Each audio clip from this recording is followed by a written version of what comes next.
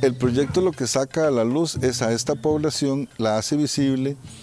eh, vemos los grandes retos, las necesidades de trabajo en esta población y eso hace que otras personas entiendan la importancia de participar en, en, el proyecto. Lograr acciones concretas, propuestas concretas desde todas las instituciones y desde todas las personas que están aquí de cómo le podemos dar sostenibilidad a este proyecto ahora que termina el financiamiento específico del Banco Mundial y cómo podemos usar los recursos mismos, ¿verdad?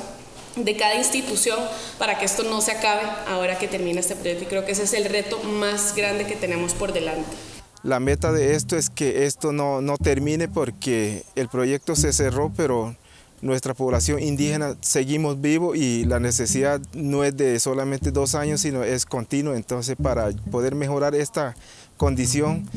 los principales actores, que son los 15 asesores, tenemos que continuar adelante. Y una de las cosas que me parece que es esencial es que hay que destacar que no solo es decir que son trabajadores y muy buenos trabajadores, que es que ambos países tenemos que trabajar fuertemente para garantizarles sus condiciones, que me parece que ese es el gran reto que tenemos. Se espera que la comunidad NOVE conozca sus derechos, conozca uh, qué es lo que necesita eh, en tema de salud. El lograr que una institución, por ejemplo, como ICAFE, reconozca la relación que existe entre patrono y trabajador, que es una figura que incluso la caja la reconoce y que es similar a la de trabajos domésticos,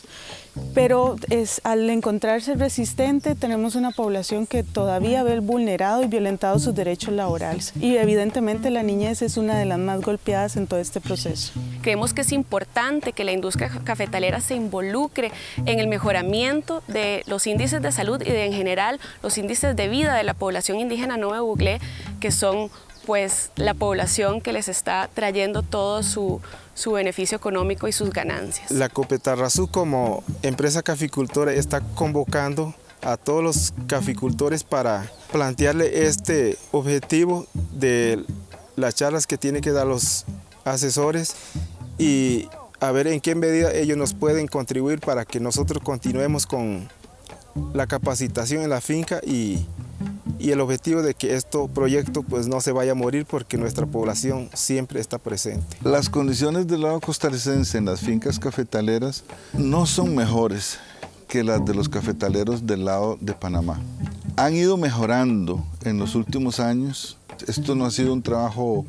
fácil ni para los finqueros, ni para nosotros, ni para el Ministerio de Salud, ni para la Caja. Que hemos ido construyendo una relación muy interesante entre ambos países. Somos socios que tenemos un mismo fin.